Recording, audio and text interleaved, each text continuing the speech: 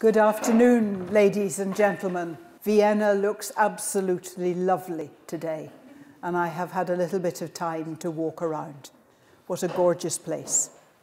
I'd like you to start by imagining that you have 2,000 satellite TV dishes. You join them together with good quality cable. You plug them into an excellent receiver and you point them at a carefully chosen part of the sky. Might then, if you listened with headphones, hear something like this.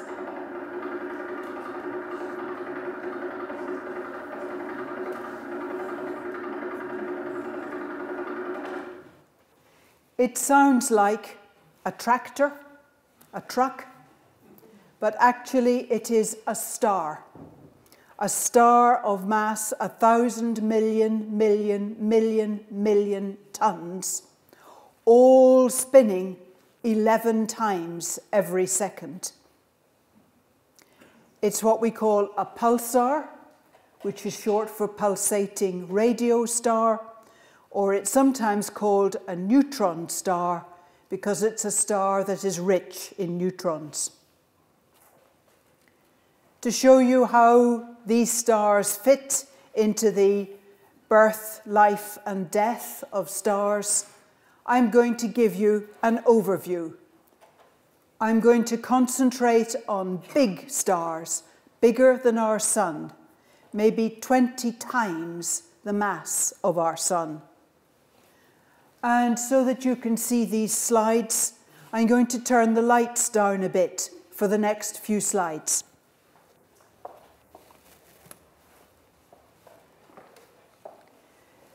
This is a picture of part of the constellation of Orion. It's what's known as the Horsehead Nebula because of this shape, like a horse's head. What you're actually seeing is some of this dark material which sticks up, protrudes, and you're seeing it against this pink glow of hydrogen gas. Whenever in astronomical photographs you see pink or red material, it's hydrogen. 95% of the time it is hydrogen. Hydrogen with its red spectral line. It's in these dark areas, which are rich in gas molecules and dust, it is in these places that new stars form. These dark clouds cut out a lot of light. Can you see that up here there are many, many, many, many stars, but down here, very few? Because this cloud cuts out the light from the stars behind it. You only see the stars this side. And here and in here, stars are formed. This is another constellation, a group that you can see in the winter sky. It is a group of stars called the Pleiades or the Seven Sisters. These are very bright stars. They are young by astronomical standards, less than a hundred million years old.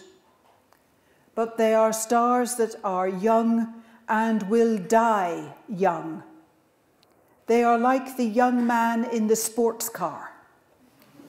Very bright, very flashy, no money in the bank, and it does not last. These stars are big, their central temperature is higher, the reactions go faster, and the stars burn out quickly. These are stars that die young. This is a group of stars that you cannot see from Vienna. They are in the southern hemisphere. It's a group of stars called the jewel box because some of the stars show colours. Perhaps people near the front can see that this star has a red-orange colour. It's a star that is getting old. It is past its prime it is showing signs of age. One day the sun will do that as well. And if you notice it, you might tell somebody because it begins to get dangerous for us on Earth.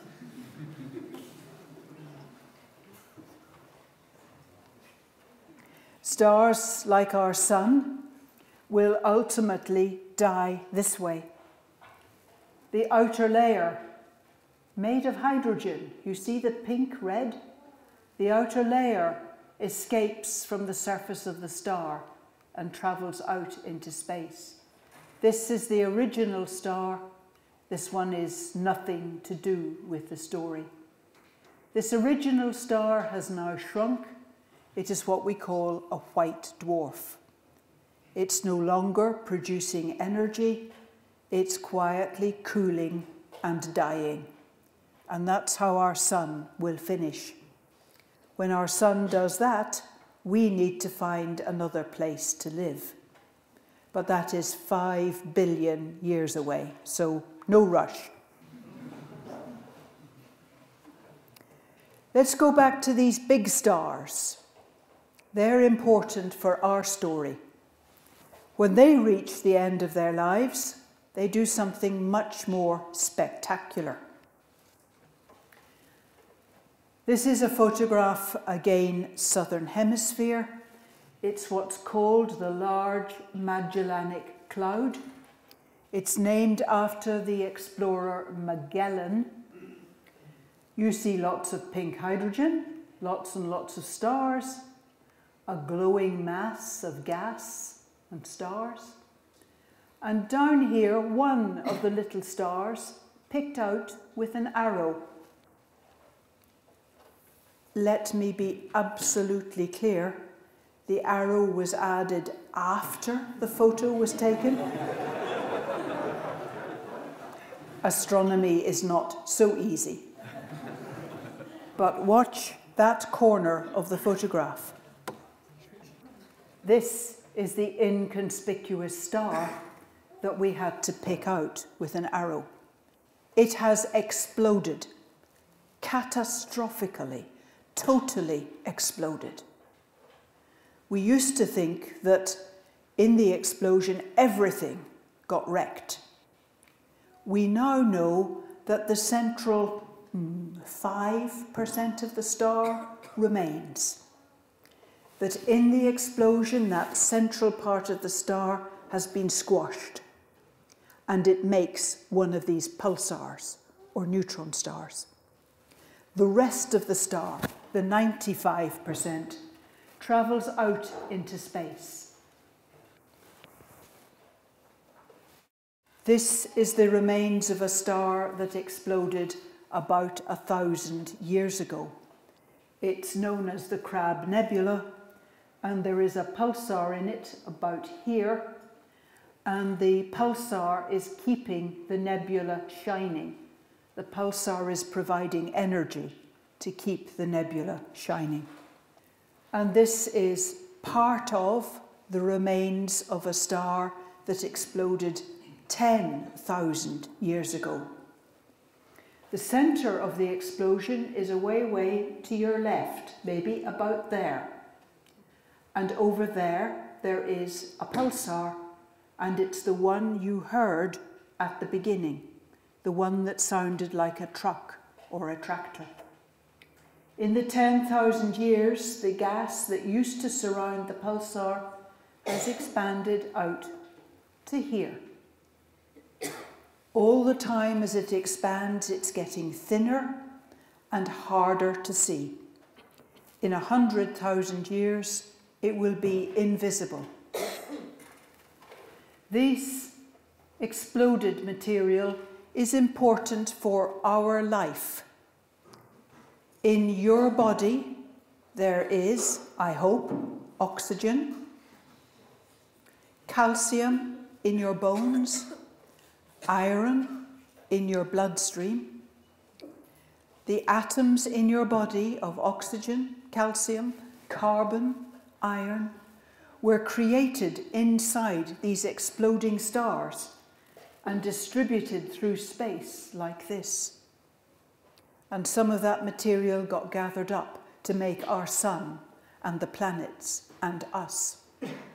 So almost all the atoms in your body have come from stars.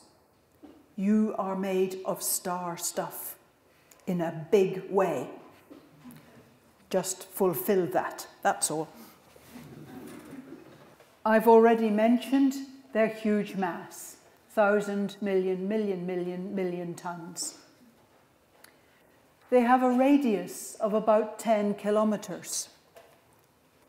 And no, I have not made a mistake. I do not mean 10 to the power something kilometres. I mean 10 kilometres. Take a thimble, a sewing thimble, preferably a nice silver one. Take the population of the world, 7 billion people, and one at a time jam those people into the thimble. When you have all 7 billion people in the thimble, the thimble weighs as much as it would if it were filled with pulsar material. That's how heavy, how dense it is. And because there is so much material in a small ball, there's some interesting physics. The gravity at the surface of this star is big. If there were some mountains on the surface of the star, just one micron, one millionth of a meter high, the work you would do climbing this micron on the surface of one of those stars is the same as the work you do climbing Mount Everest here on Earth. And because the gravity is very strong, the atmosphere is also compressed. It's a few, few centimetres deep. So if I'm standing on the surface of one of these stars, the atmosphere is around my toes. Doesn't get any higher than my ankles. And if I want to breathe, I have to get my nose down at floor level. If we lived on a pulsar, we would be different shapes.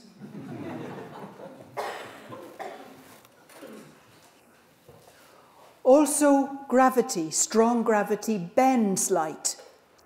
So you can see over the horizon on one of these stars.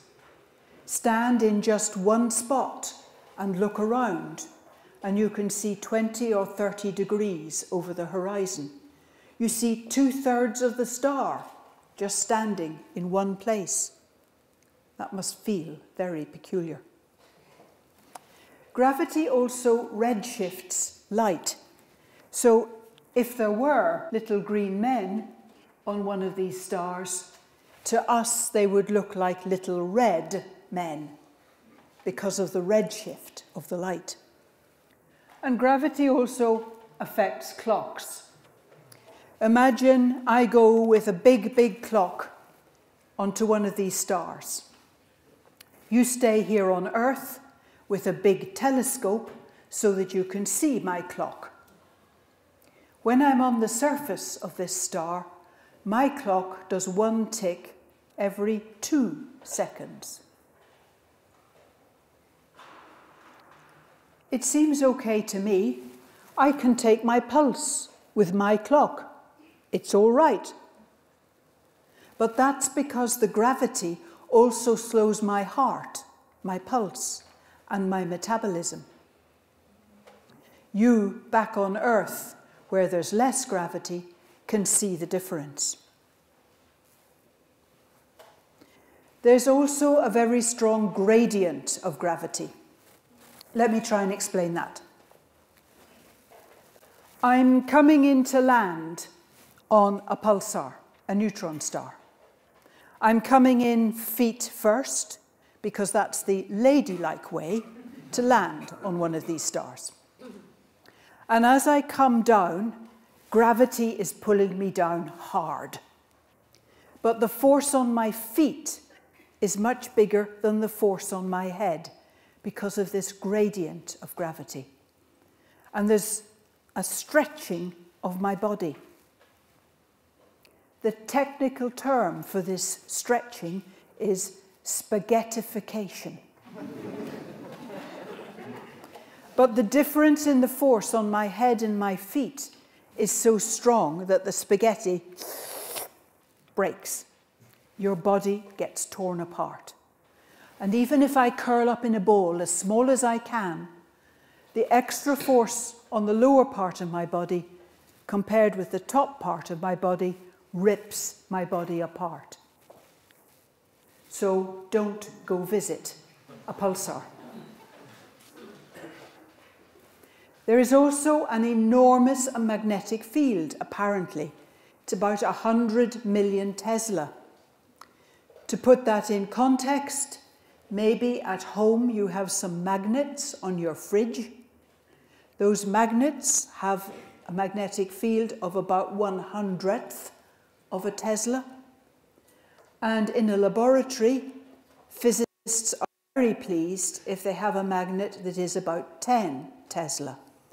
These stars are 100 million Tesla. And if you spin a magnetic field, you get a voltage drop. And the voltage drop in these cases can be about a thousand million volts in a centimetre. Huge voltage drop. Imagine going to a pulsar surface and experiencing those magnetic and electric fields. Your metabolism works because the molecules are slightly electrically polarized. They would be zapped by these electric and magnetic fields. So don't go visit a pulsar. And don't take your credit cards either. It's not good for them as well.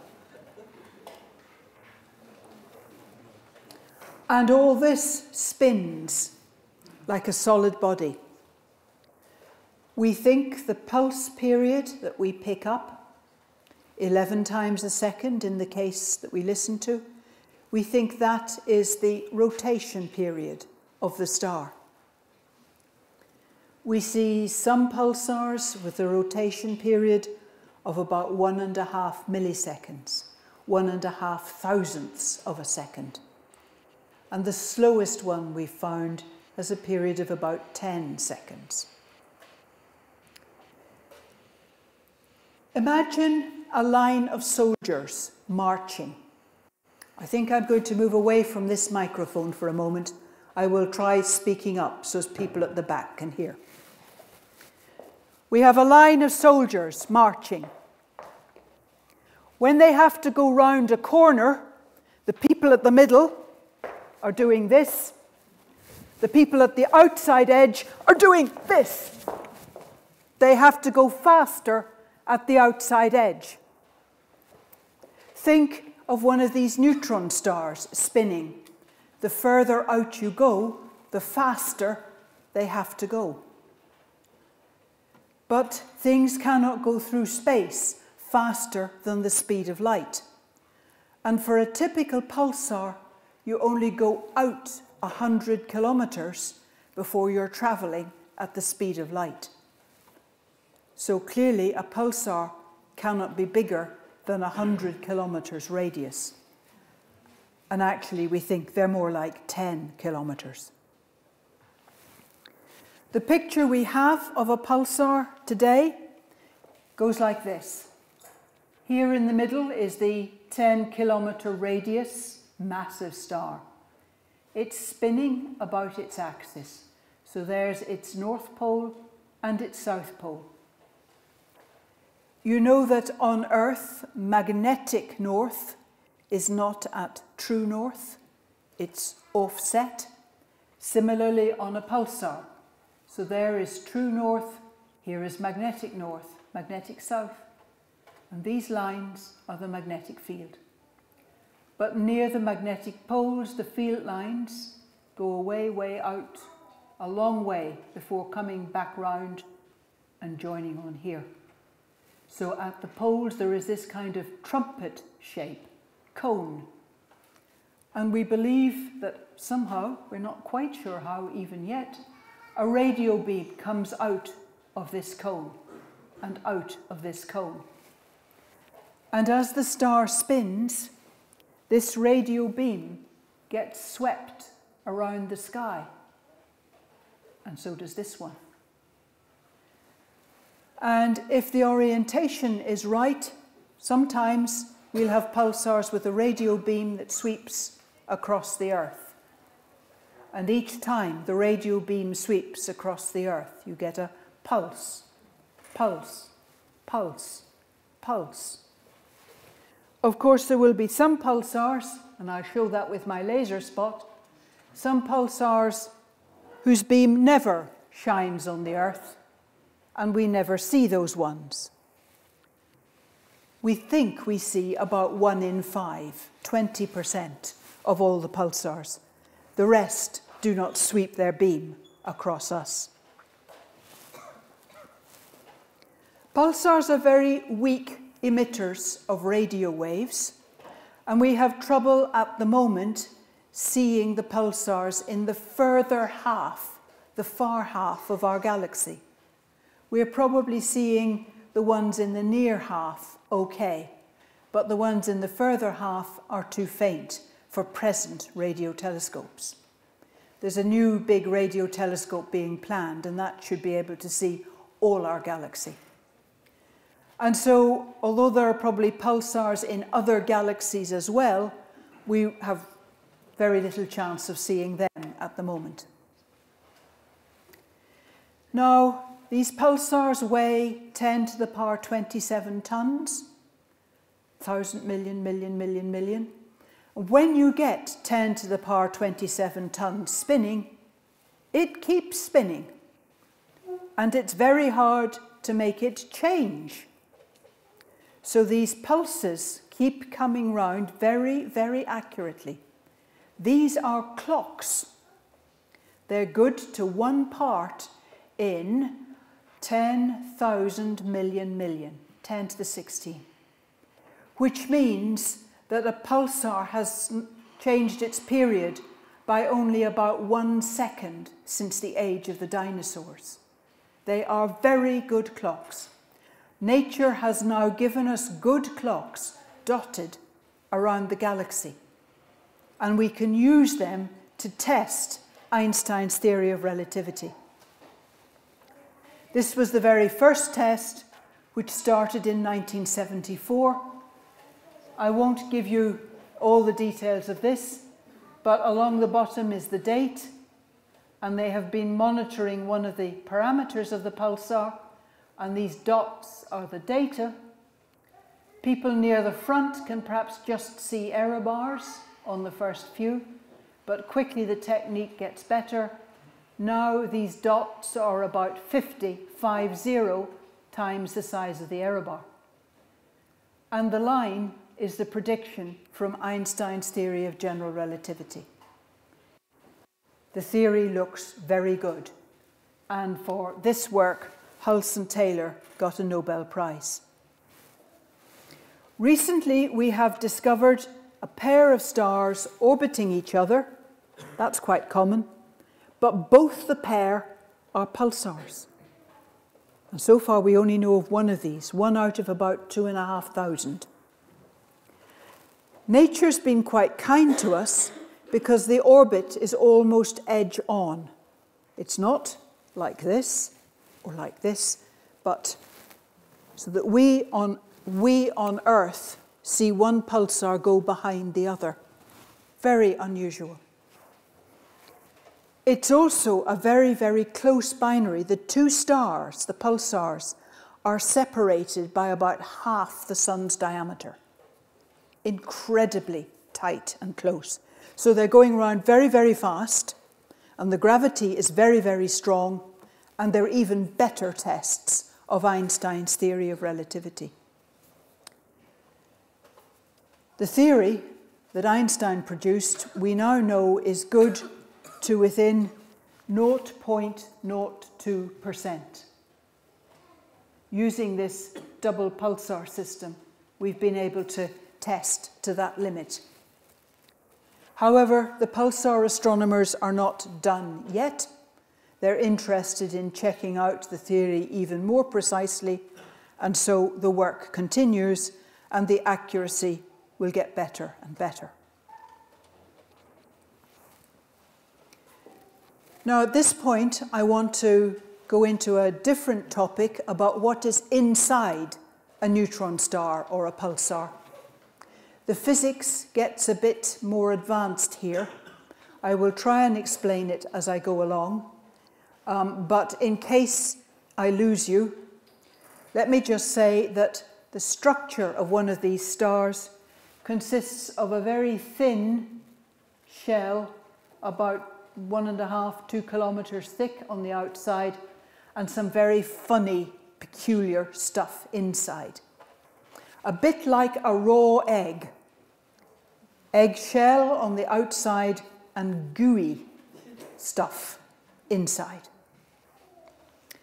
I'm going to talk a bit about some of those different bits, but uh, it does involve some more advanced physics, so this is rather more for those who studied more physics. If you want to follow this up, you can find a picture like this on the web.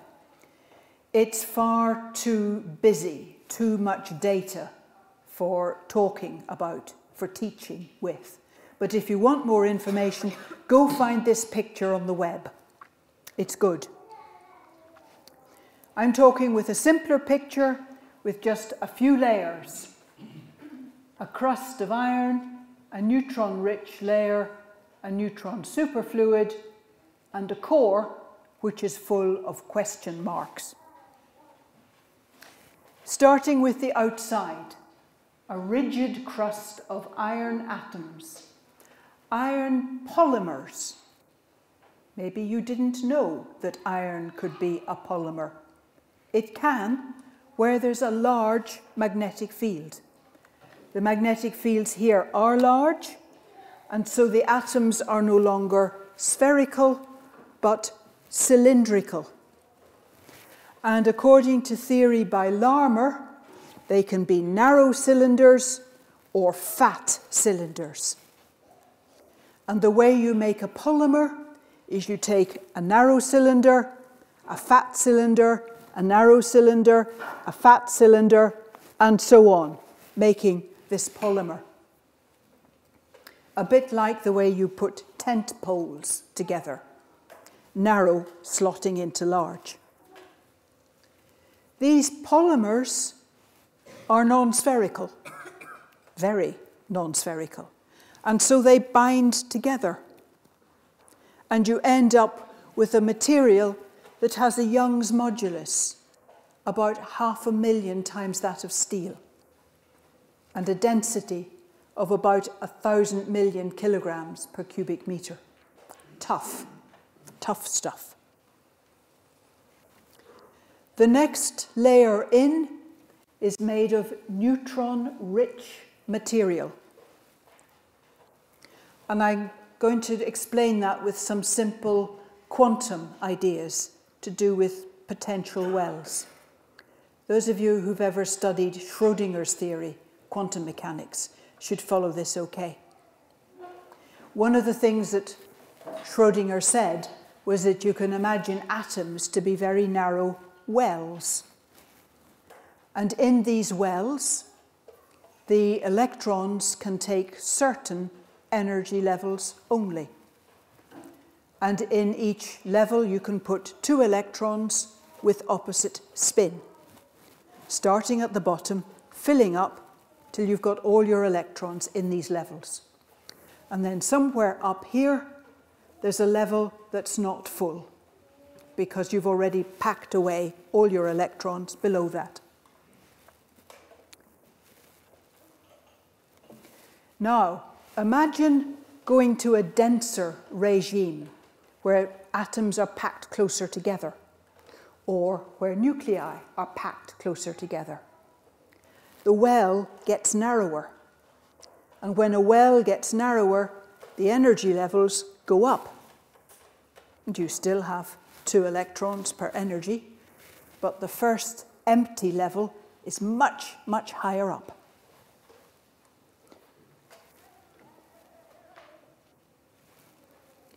Now suppose we have a radioactive nucleus that wants to do what we call beta decay. A neutron wants to turn into a proton plus an electron plus a neutrino. The electron needs somewhere to go. So here we've got the well, uh, two electrons, two electrons, two electrons, so on. The first space is away up here. But the energy of the electron from this radioactive decay can only be so big. That's the maximum it can have. And there's no space, there's no room. The hotel is full, no beds at this level, and the electron cannot get up there. So this decay cannot happen. It is prevented. If this decay does not happen, we keep all our neutrons. No neutrons decay. So the material gets neutron rich. Go in a little bit further still, the well gets narrower still because the density is higher. The energy levels have gone way, way up. And the topmost electron or particle may have enough energy to do something useful. In this case, it is an electron. And what can happen is that you can take a proton plus this very energetic electron plus a neutrino and create a neutron. It's called inverse beta decay. So what had been protons combine with these energetic electrons and make yet more neutrons. So the material is getting richer and richer in neutrons. Okay, but there comes a point when the nuclei cannot hold on to all these neutrons. There's too many neutrons for a nucleus, and the neutrons start dripping out at what's called the neutron drip point. It's at quite a high density, 4 by 10 to the 14 kilograms per cubic meters. And you begin to get some free electrons roaming around. Now, maybe somebody, some of you have learnt about superconductivity. Superconductivity happens when you've got two particles with opposite spins, some distance apart, but a force between them. And that makes them act like a single particle with zero spin, a boson. And that's at the heart of superconductivity. Here we have neutrons, maybe some with spin that way, some with spin that way. If there's a force between them, the two could be considered a single particle with zero spin, a boson, Bose particle. And that leads not to superconductivity, because these are neutral particles, but to superfluidity, no viscosity. So, just to make the physics really entertaining inside these stars, we have a rapidly spinning star with some layers of superfluid.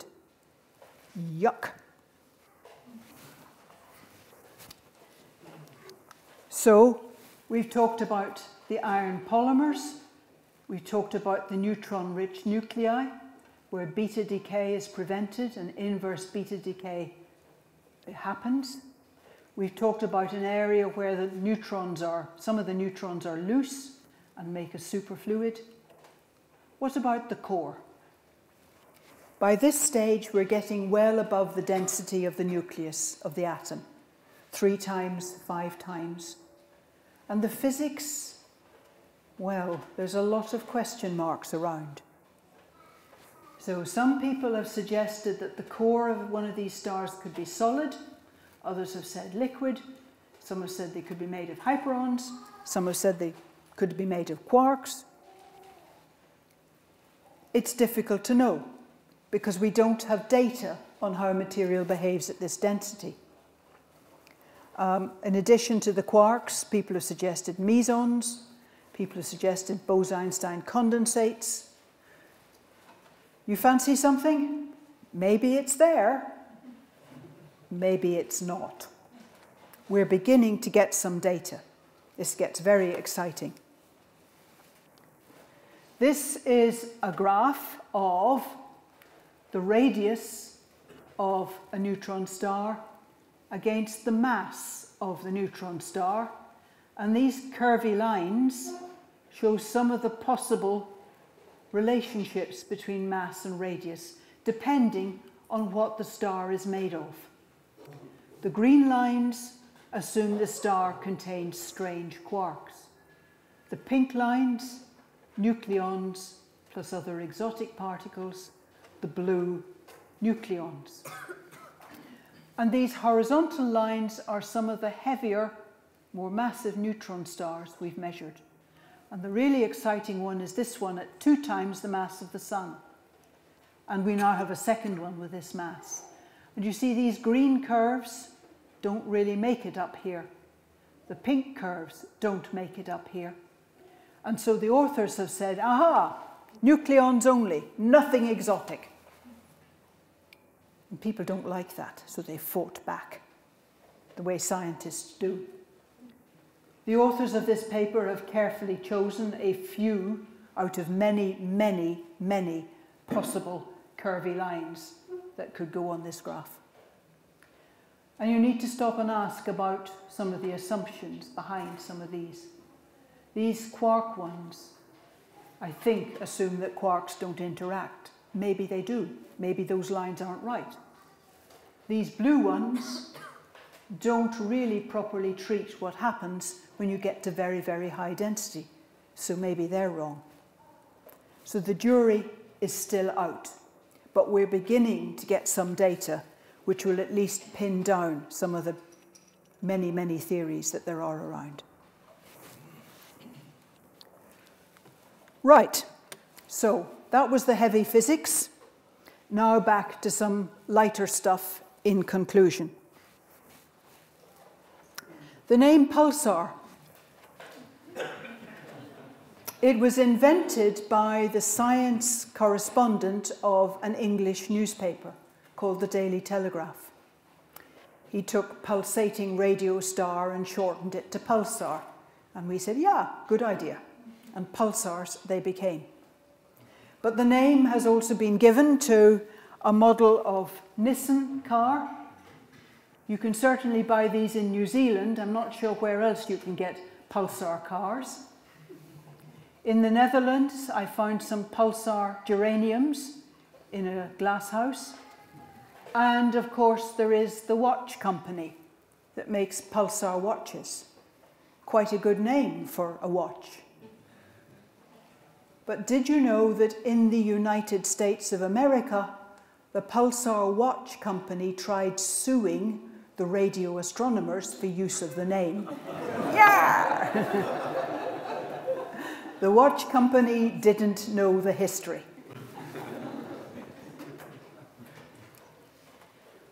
Are you aware of something called the Guinness Book of Records? Here are some pulsar records. The pressure at the center of a neutron star is large. That's in terms of the atmospheric pressure here on Earth. The fastest known pulsar, it's the pulsar PSR, which stands for pulsar, 1937, which is its longitude on the sky, plus 21 is its latitude on the sky. Fastest known pulsar has this period in milliseconds, thousandths of a second. And look at the accuracy with which it is measured. That is 16 decimal places. And that three at the end is not all experimental uncertainty. When you measure a pulsar period to this accuracy, you find this end number gradually gets bigger. The pulsars are very, very gradually slowing. And this pulsar, if I can get this sound file to work, sounds like this.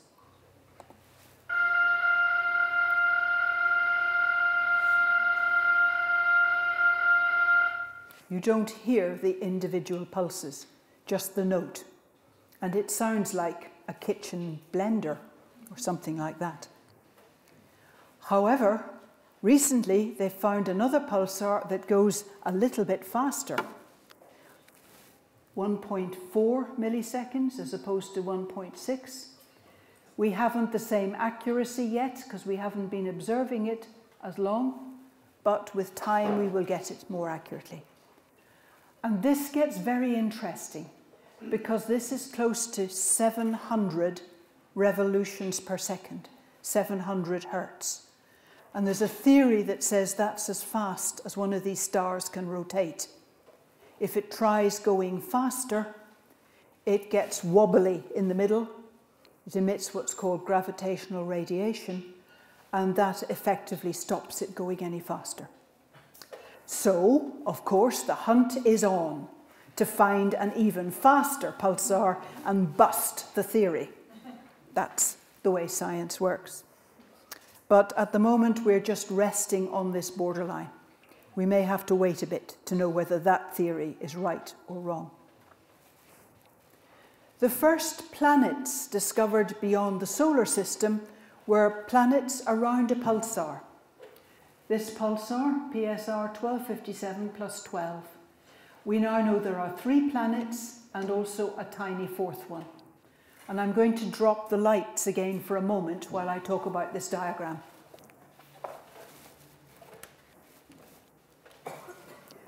This diagram compares the planets round the Sun in this planet panel with the planets round the pulsar.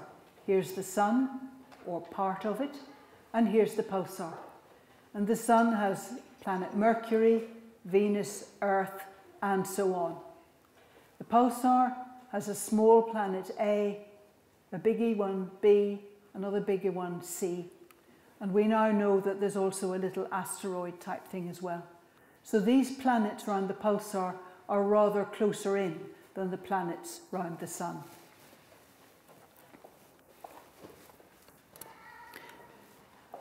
It's, it's quite hard to understand why there are planets round a pulsar. Remember that this star was formed through one of those giant explosions. That should clean out the planets very nicely. And a young pulsar has a lethal beam. It's not just radio waves that are going round, it's X rays and gamma rays as well. And if that were to fall on any planet, it would evaporate the planet very nicely. So it's a bit hard to understand how you get planets round a pulsar. And officially at the moment, we only have this one, but I know that there's another two or three that they suspect have planets. They're just not announcing them yet till they've got more data and they're sure. The roundest known thing in the universe is the orbit of a pulsar around its companion star.